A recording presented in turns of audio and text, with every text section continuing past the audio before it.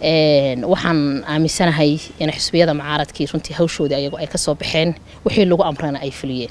Waxaan ogahaya maragmatoona dowladda itaalka yarli inaanay ka midaysanin qarannimadeeda cabdiraxmaan maxamed cabdillahina waxaan aaminsanahay inuu bedelka musabixi cabdi noqon doono inuu runtii madaxweynaha soo socda ee dhow uu noqon doonaan aaminsanahay.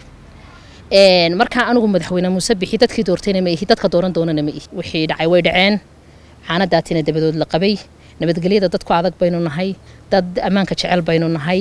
Waxaan idiin soo jeedinayaa inaanay caradu idinka xoog roonaanin samsam wadani oo ka tirsan xisbiga mucaaradka wadani oo maanta telefishinka c b s si gaara ugula hadlaysay waxay ka hadashay mudaharaadadii ka dhacay koob iyo tobankii bishani.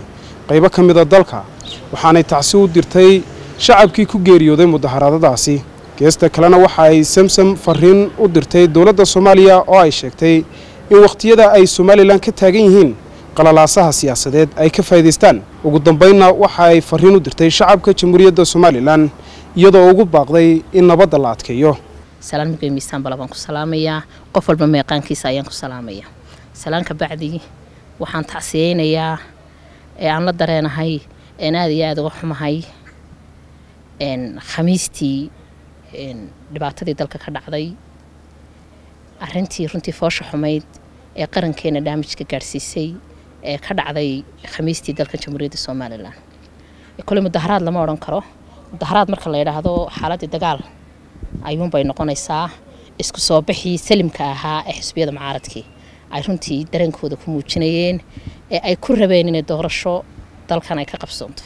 Isla markaana ay ka soo horjeedeen dalkan inay runtii doorashadu ay dib u dhacdo dareen buu ahaa dareen shacab buu ahaa dareen xisbiyaduna hogaaminayeen buu ahaa dareen laga siman yahay buu ahaa runtii dareenkoodii way u gudbiyeen xukuumadda somalilan. Xukuumadda somalilanna way aqbashay si raganimo labay u aqbashay. Waloo ay tiri dee xafiisyadiina ha soo dhaafina oo isku soo buxuna ahaa inuu dee meelaha publicada uu ka dhaco haddana way ka aqbaleen walow shirkaasu ama isku soo baxaasu anuu mudaharaad runtii ma odhan karo. Waayo dagaal unbuu dee saameyn ku leeyahay. Sidii la rabay ay runtii aanu u dhicin. Cid kastaba dabadaha ka riixaysa waxaan aaminsanahay in xisbiyada mucaaradkii runtii hawshoodii ayagu ay ka baxeen wixii lagu amrana ay fuliyeen.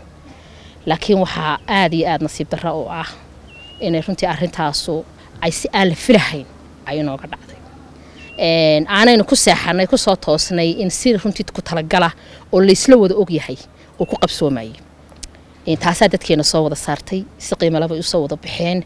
Waxaan ka tacsiyadaynayaa ee runtii aan la dareenahay hooyooyinkii eheladii qaraabadii dadkaasu ay ka baxeen.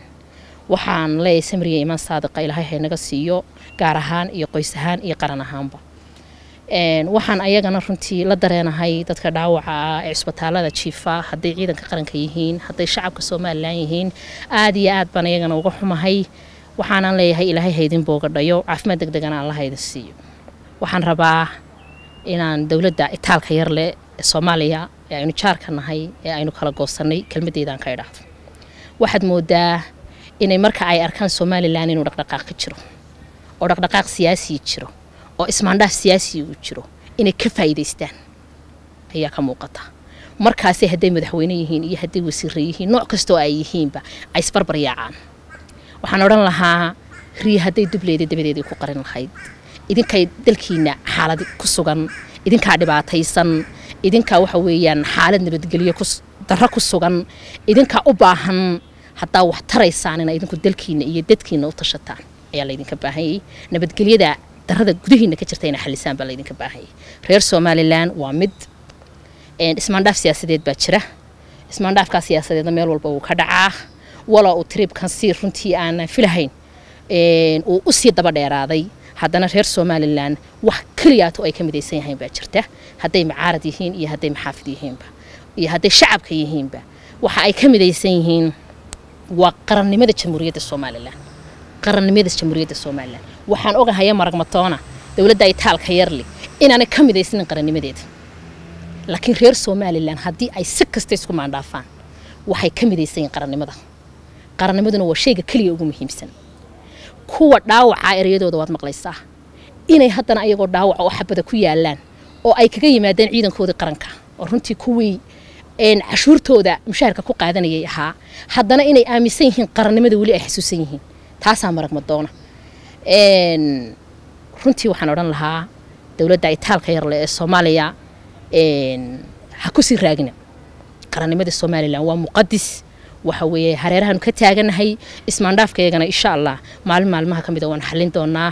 Meel fogna gaari maayo biidmillaahi kariin. Waxaan la hadlayaa kelmadayda rabaa mas'uuliyaddayda magacayga samcaddayda. Runtii anigoo intaba huwan مجرد حسبة معارض كان ستة خاصة حسبة وطني مدحوينا مسبيح عبدي ومدحوين هي الدلكة ومدحوينا للدورتي ومدحوينا عدكو فرية أنا غمان دورن تدك دورتين ما هي. تدك بريتة دورن دورنا ما هي. واي مبدأ بعن لي هاي أنا عبد الرحمن محمد عبد الله بموتا عبد الرحمن محمد عبد الله وحنا عم السنة هاي. إنه بدل كا إن مسبيح عبد النقطانه إنه رنتي مدحوينها صوص عضه ee dhow uu noqon doonaan aaminsanahay. Markaa anigu madaxweyne muuse bixi dadkii doortayna ma ihi dadka dooran doonana ma ihi. Qofku inuu mabdiisa cadaystaa wanaagsan. Laakiin madaxweyne inuu yahay ayaan aaminsanahay. Inuu madaxweyne qaranka jamhuuriyadda somalilan ayaan aaminsanahay. Inuu madaxweyne dalka u shahiida yahay baan aaminsanahay.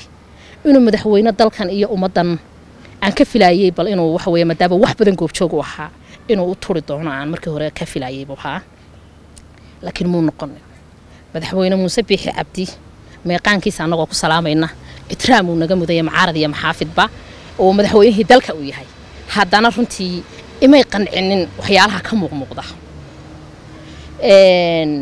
Shirkiisii maalintii dhaweydna shir saxaafadeedkiisii maalintii dhaweydna runtii shir saxaafadeed anigay qanciyey muu shacabka somalilan ay la dareen bay haayeen arrin runtii madaxweyne muuse biixi cabdi arrin ka weyn baanu ka filaynay hawl hawshaa ka ballaadhan ayaanu ka filaynay inuu runtii ka hadlo maanaan ka filahayn anigoo aan ku sii raagahayn oo waayo uu madaxweynihii dalka uu yahay haddana kamaanaan filahayn sidii uu hadlay hadal meeqaankiisa ka hooseeya ayuu ku hadlay hadal aan looga baahnayn ayuu ku hadlay dalkuna maalintaa xaalad buu ku sugnaa xaaladda nabadgelyada maalintaa runtii waxoogaa rabashi ka taagnaayeen dhimashaa taalay dhaawac baa yaalay howlo badan oo noocaasa ayaa yaalay ismaandhaaf siyaasiya oo soo noqnoqday fara badan baa jiray. Runtii markaa hadalkaa madaxweynaha hadal runtii aanan ka filahayn buu ahaa. Waxaan rajayn doonaa inuu hadalkaa runtii si mugya miisaanba leh ama sidii lagu mujaahid lagu yaqaanay ama sidii madaxweyne lagu yaqaanay. Waxaan ka codsanayaa inuu mar labaad inoogu soo noqdo runtii stageka oo dadkiisa si ballaadhan runtii ula hadlo oo qancin doonta nabadgelyada in la ilaaliyo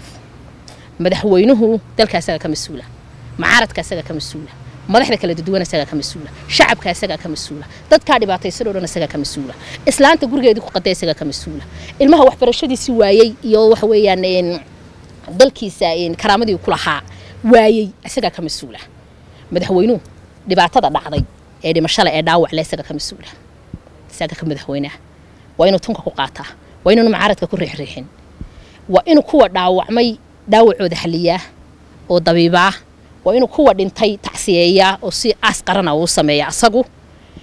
Waa inuu kuwa ciidanka qaranka ah ee runtii waxyaalaha aan laga filahayn ayaga laftigoodu ay sidaa uga siibatay inuu ayaga laftigooda hawshooda gaar u xaliyo oo maadaama ciidanka boolisku ay shacabkii yihiin saaxiibkii dadweynaha. Bal hawshaana madaxweynuhu faraha la soo galo oo taliyaha booliska iyo ayagoo isku duuban. Bal waxa weeyaan ciidankii booliska waxyaalo badan oo aan looga baahnayn. Dhaqdhaqaaq aan looga baahnayn shacabkooda inay runtii kula kacaan baa ka muuqda. Taana inuu gaar u xaliyaa baan rajaynaya wasiirka daakhiliga maxamed kaahin oo nin mujaahida oo runtii dalka lexejeclo badan u leh aan u qabay oo waxa weeyaan habeenkii dhoweyd hawshaa isku soo baxa uu bilaabmayey hadal aan loo baahnayn. Ka yidhi oo ummaddu ay wada maqlaysay ummadduna ay ka xumaatay. Wuxuu sababay inuu isku soo bixiina wax badan ka bedelo oo dhibaatadii isku soo bixii salimka ahaa ee la rabay uu u bedelo inuu runtii dee xaalad nabadgelyo darro uu halkii loo baahnaa ka kaxeeyo oo ay xaaladdu sidii ay isku bedesho. Waxaan odhan karaa hadalkii kaahin baa sababay.